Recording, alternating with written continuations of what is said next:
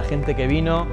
vino de un montón de organizaciones y de militancias diversas en un montón de entidades que trabajan los derechos humanos de distintas perspectivas y la verdad que haber contado los tres días con salas llenas, con una participación activa del público entusiasta, con panelistas que estuvieron súper comprometidos, la verdad que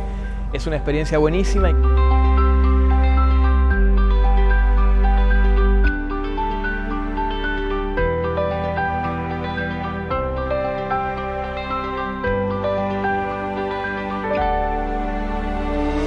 Debate de derechos humanos es fundamental en todos los territorios y el digital no es ajeno a eso, porque los derechos humanos son el mayor consenso que la humanidad ha desarrollado a lo largo del siglo XX y no ha sido un proceso fácil de desarrollo de estos consensos. Entonces son la base fundamental de nuestra vida social. Y como hoy buena parte de nuestra vida social se ha volcado a la esfera digital, recordar que tenemos este marco de convivencia, este marco de derechos y este marco de consensos no parece una tarea menor, sobre todo cuando vemos ataques a la intimidad de las personas, ataque a la libertad de expresión. Para mí es fundamental tomar los entornos digitales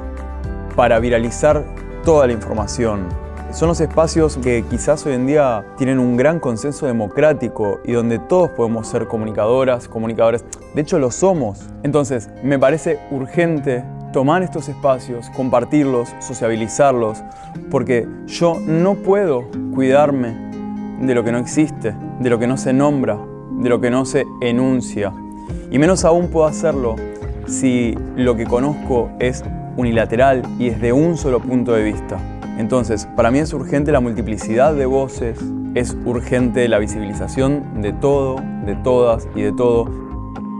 La experiencia, por ejemplo, de lo que ocurrió con la Plaza del 2x1 es una, muestra muy evidente, muy potente de cómo se pueden utilizar los entornos digitales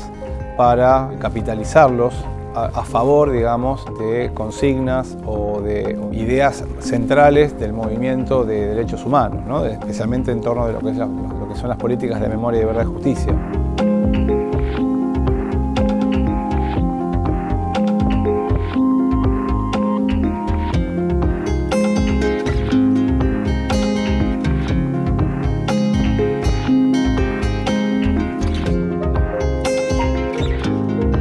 La memoria histórica y sobre todo la memoria de estos hechos eh, no puede sino ser colectiva, no puede sino conformarse en una comunidad de distintos aportes. Hablar o enfocarse en derechos humanos es como la protección integral de las personas, dentro de un entorno que debe dar seguridad para poder habitar de manera libre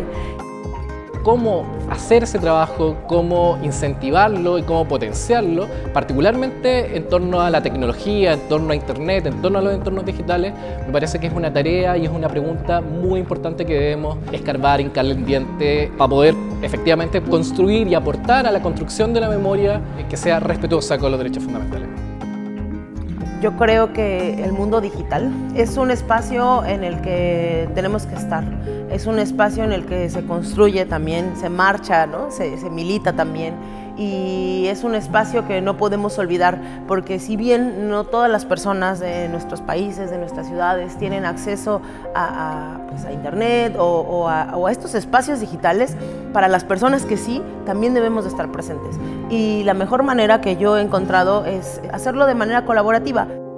El rol de la construcción de tanto del marco de derechos humanos y del ejercicio de derechos humanos, como también de lo que significa la memoria y los procesos de memoria, para mí tienen muchísima relación con estos procesos colectivos de construcción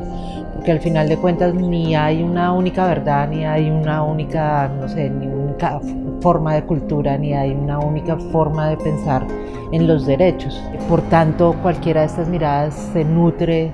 del trabajo entre muchos, entre diferentes colectivos, entre diferentes perspectivas, entre diferentes tipos de actores. Creo que sin colaboración no se puede hacer mucho en estos tiempos, o sea, se necesita de la unidad, de las alianzas, de ese acercamiento entre quienes apostamos por lo mismo para poder avanzar y hacer algo en este contexto donde hay mucha adversidad. Una de las cosas más positivas que tienen los proyectos colaborativos es que mm, por lo general, y si funcionan bien y si son de verdad colaborativos, aglomeran a un montón de personas de identidades diversas y diferentes y creo que en general las personas que trabajan de esta manera están también más preparadas para trabajar en un entorno de defensa de derechos humanos